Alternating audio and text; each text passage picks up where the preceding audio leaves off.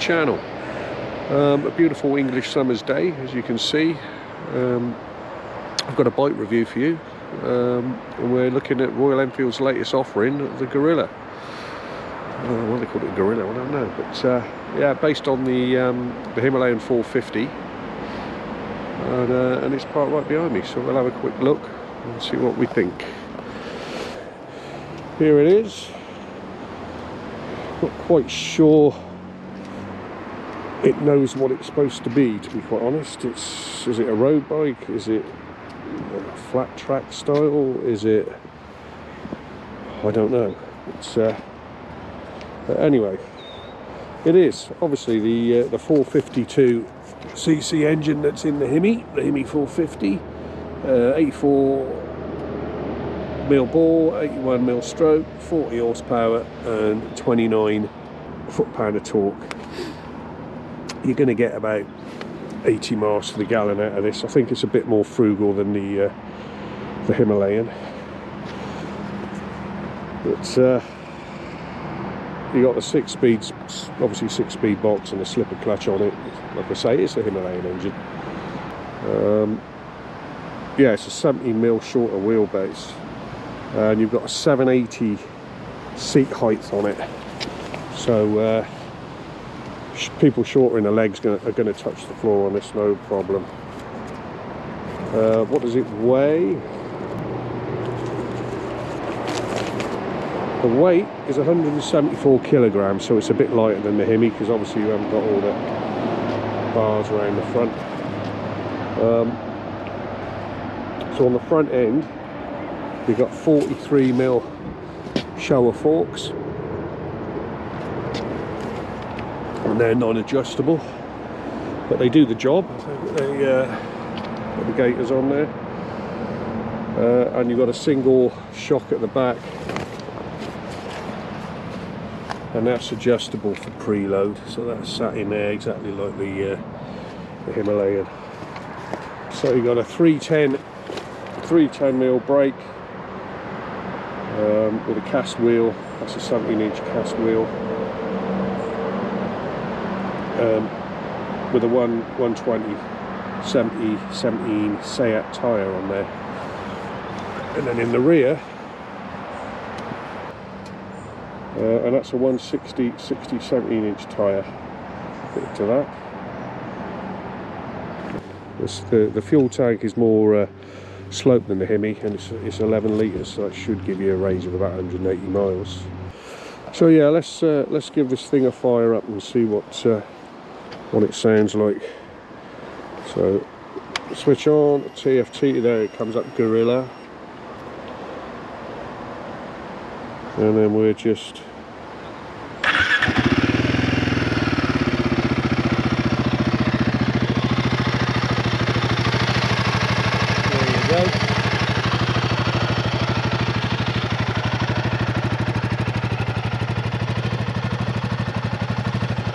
back lights. I think it looks quite quite good from the back. Let's just show you these. Uh, put the, oh, I can put the hazards on, couldn't I? That'll look better.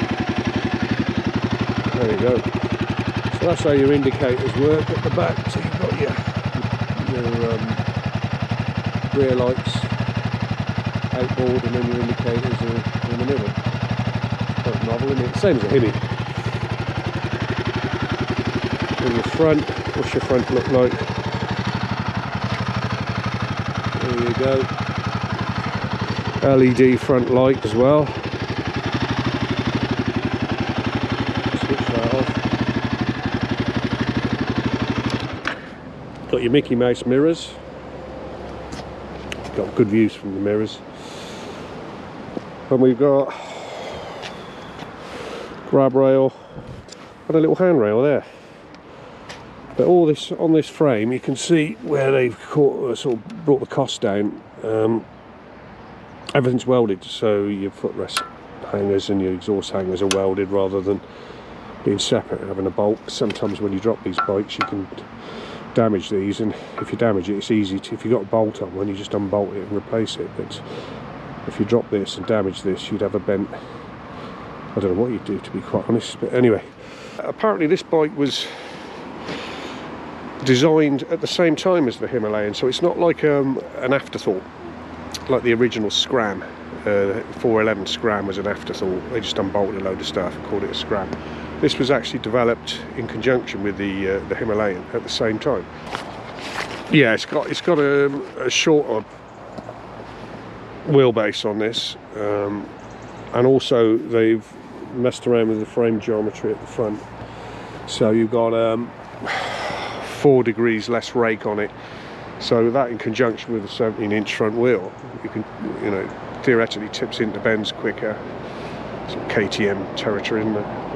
Uh, one thing I've noticed as well when I was on about the build um, and cost cutting, the rad. Now, if you look at the rad, that is the radiator. So uh, they just, you know, there's no cover on it. You've got a, obviously a guard on the front, but uh, that is the steel outer piece of the rad. Oh, it'd be nice to have seen um, a little plastic cover around there, wouldn't it? Just to finish it off. It looks as though somebody's actually forgotten to put it on there.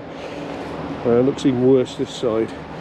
You just got a filler cap and your uh, your actual radiator body. Um, plugs in there would have been nice, but hey, you know. Oh, that's something else I noticed now.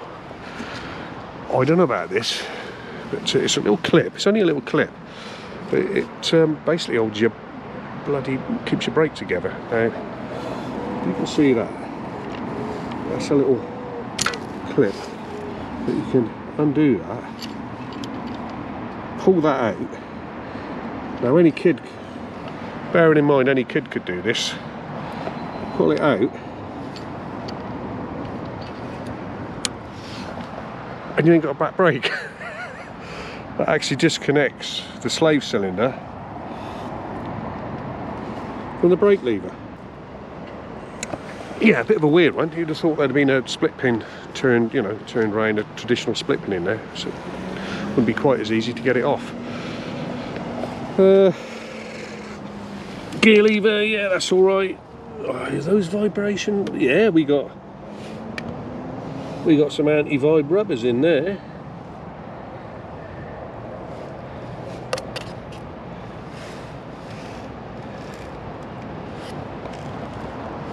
That centre stand. Good bloody hell. Putting this out at 4850 in the base colour, whatever that is, and then as you go up in the different five colour variations, it costs you more money. But I think it peaks out at about 5,100. I might be wrong, 5,150. But um, all the info is out there anyway.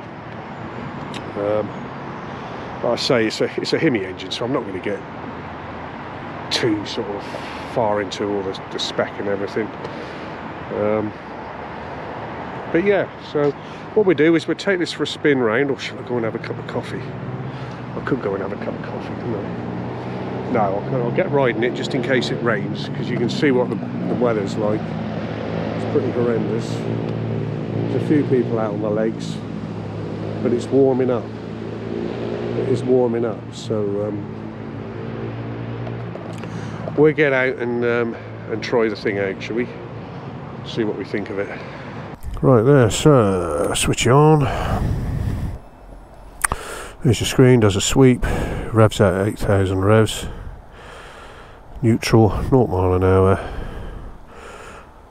Let's give it a start it up. Right, let's see what mode we're in. We're in performance mode. So that's a good thing.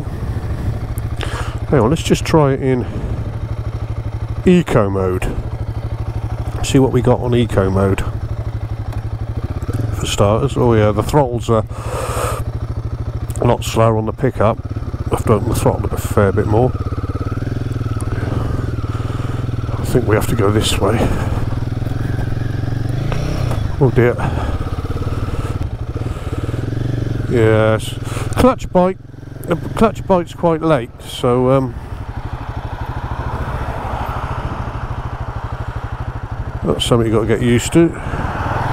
Well, oh crikey, yeah, you have to give it a handful to get it going. That's because I was in second gear. Because it looks quite light over there, doesn't it?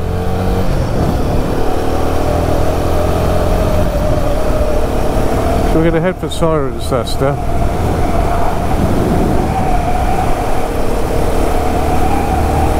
Yeah, up the throttle wide open now. Was just thinking about picking up. So uh, handlebars are nicely situated. You know, I'm six foot. They uh, they're just in the right place. The bike's probably a little bit small for me. Um, looks wise, but footrests are in decent position. Gear gear changes in the right place, so I'd say that ergonomically i I fit it, but it just feels to me um, a small bike.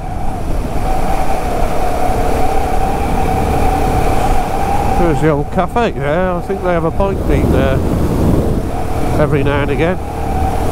But yeah, so um, mirrors, yep, you can see a little bit of uh, intrusion in there, but you, you've got a good view. And uh, the bike will quite happily it's a lot lot quicker on the turn than its uh, Himalayan brother or sister whichever way you want to look at it but uh, a little bit yeah twitchier but the brakes are lovely the brakes are brilliant a lot better than the uh, the ones fitted on my Continental GT there's me little there's your little uh, indicator arrow. It's too small as far as I'm concerned. Needs to be a bit bigger. But, uh, but yeah, in eco mode it's fine. Uh, yeah, fifth gear, I'll just change it to six, 55 mile an hour. You can open that throttle wide open at 55, watch. Nothing happens it thinks about picking up. But like I say, it is in eco mode. And I am in sixth gear. Cog it down to fourth gear. Oh, those vibes come through at 6,000 revs. Footrests aren't too bad, but then they've got those rubber mounts on them, haven't they? So uh, that's probably helping that a fair bit. Oh yeah, you can flick it around all over the place. It's just like riding a little um, size wise I won't say a 125 it's a bit bigger than a 125 but uh, it does remind me of the old 250s yeah it, that doesn't really want to go when you when you initially open the throttle. It's there's sort of a lag there. The roads are drying out now. The tyres are fine. They're CEATs. 6,057 mile an hour.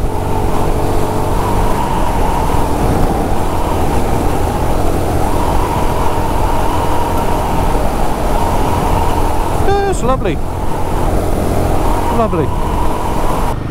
Shall we go to Bibury? Let's go to Bibury.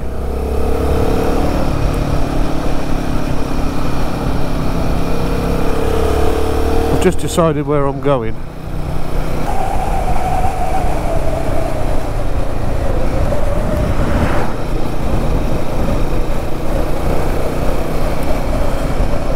Well, I'm going to pull in here because I'm going to put this into into road or sport mode or whatever they call it.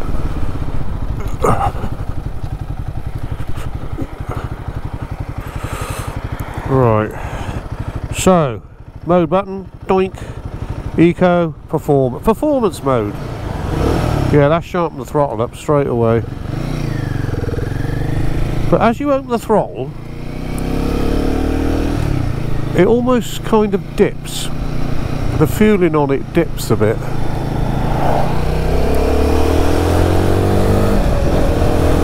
oh here we go so I'll be going this way then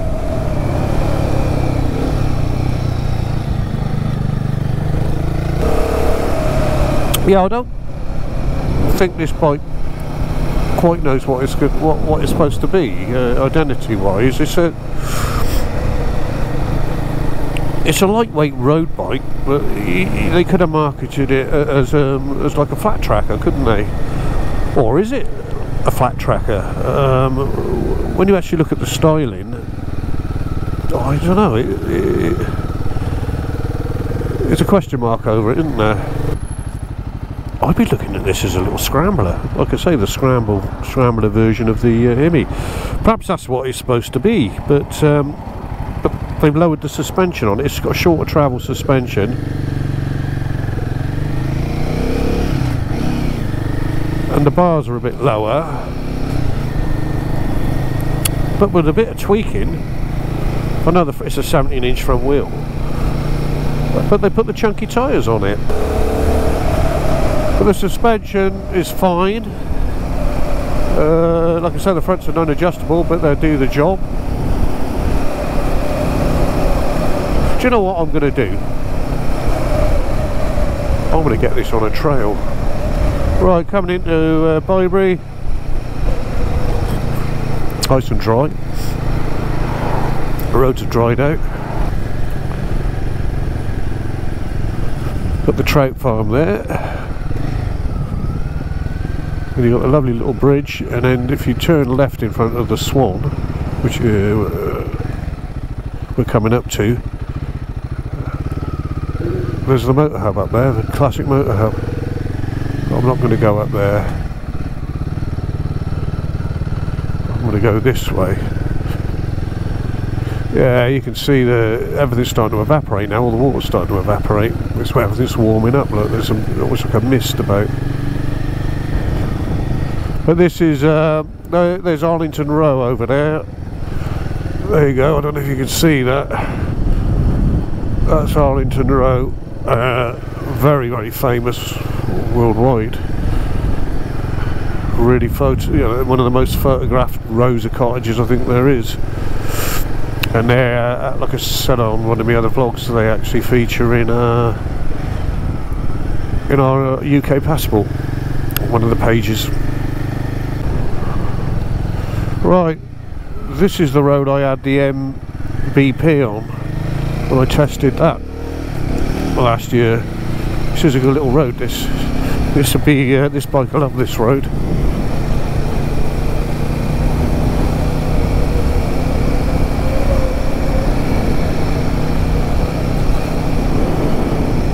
Beautiful valley there, and the river that runs along there. Oh yeah, hey. Now this bike now is coming into its own.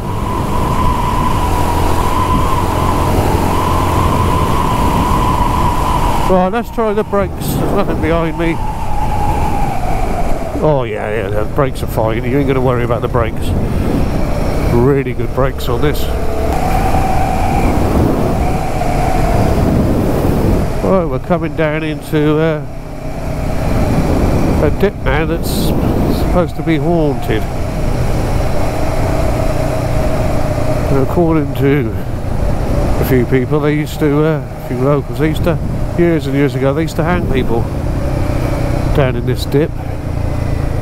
There some cut just in here. They used to hang them from a tree if they'd been naughty. I mean, we're obviously going back a few years now, not, not, wasn't like a few days, uh, yesterday or anything, we're talking of 300 years or more, I expect, but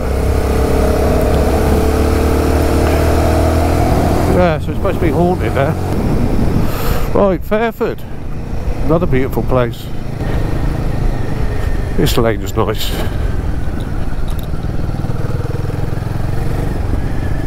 This bike. it is, it's like a little 250. You can whiz it around. This be I'm not going to say it again. This bike lends itself to being a little scrambler. Let's pull in here. And we'll have a we'll have a look. Try not to get run over. So there you go. Right well we're just uh, just down the road from the mill in um, in Fairford. And it's a beautiful little place. It's a beautiful area. Good for walks and stuff um, and there's um well, there's the mill down there and there's a beautiful water meadow over here and you can see uh, trees in the way because it's there's a church over there somewhere You can see the church spire. Lost it. Lost the church.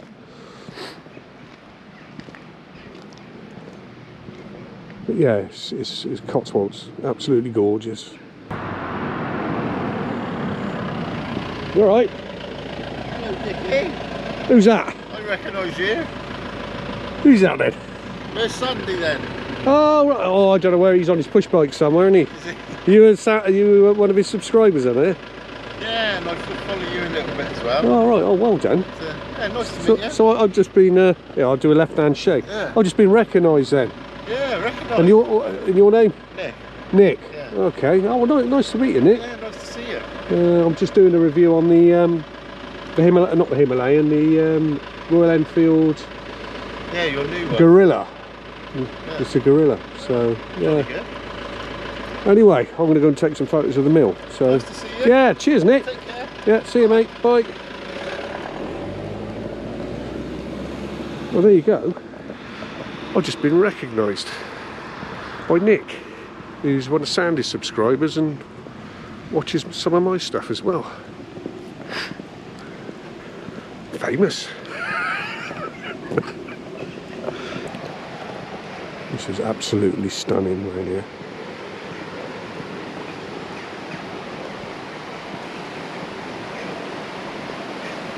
There it is. It's the mill pond.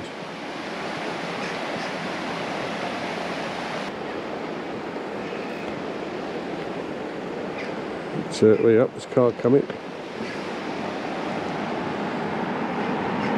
Yeah, this is absolutely beautiful.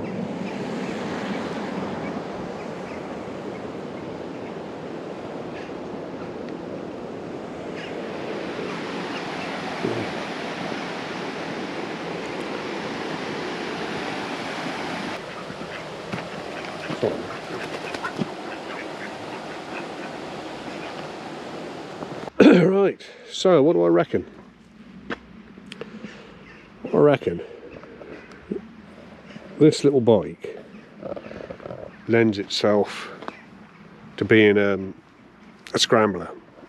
Now, whether it's supposed to be that, and I'm just being stupid um, or clueless, I don't know. But uh, as it is, it's set up more or less as a road bike. But what they've done is they put some chunky tyres on and um, but they've lowered the, the suspension. I think it's got a bit of an identity crisis. Is it a road bike? You know, is it a scrambler? Oh, what's it supposed to be?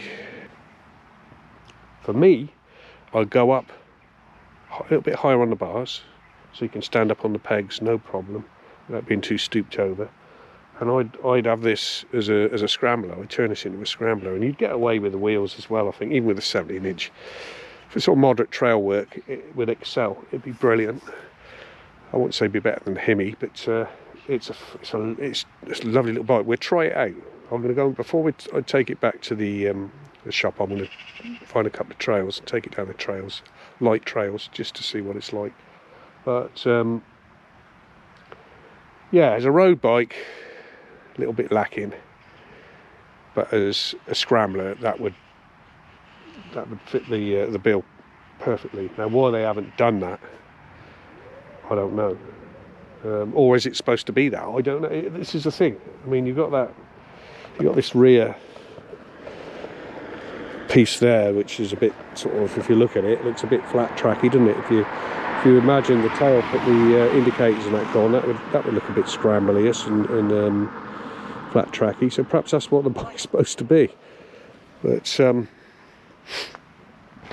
I don't know. I'd have called it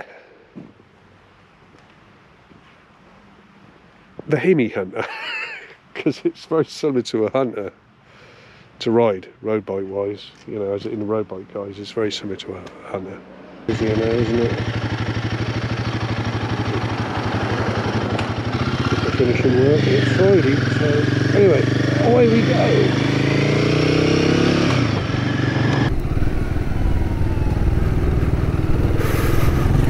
Am I going to get wet? I want to try and head out to Hackpen Hill. But I think that's going to be a mistake somehow.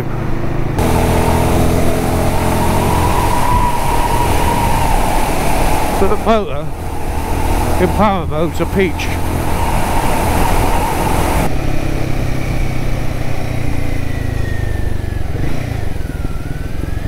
Right, let's watch out what's going on here. Not a grit in the road, look. Whoop.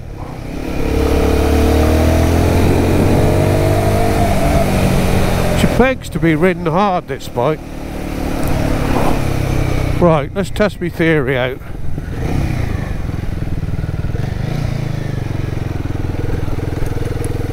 See how uh, this suspension copes with ease.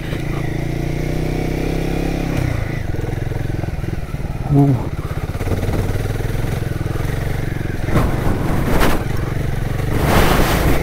No problem whatsoever.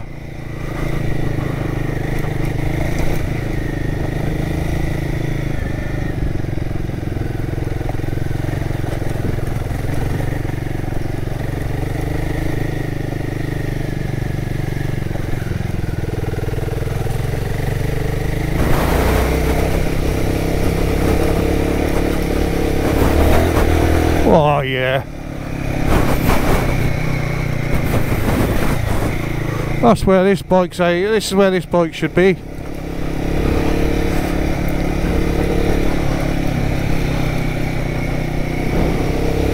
It just eh, it's just so much shorter than the Hemi. it's like a little 125 almost. Light trails.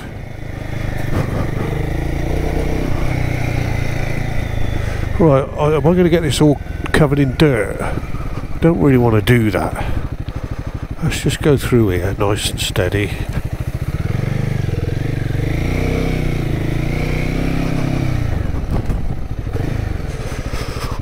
We won't go down there.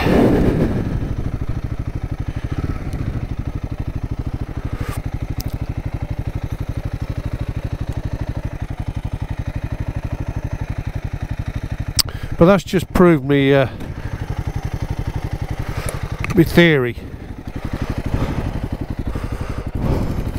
I got it dirty. No, not too dirty.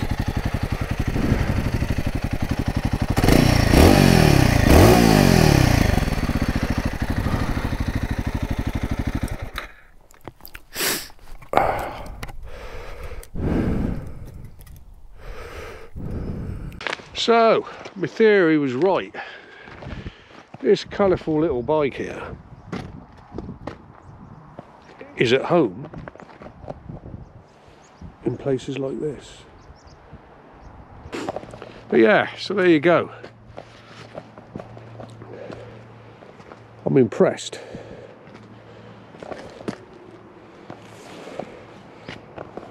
I'm liking it. Right, here we go then.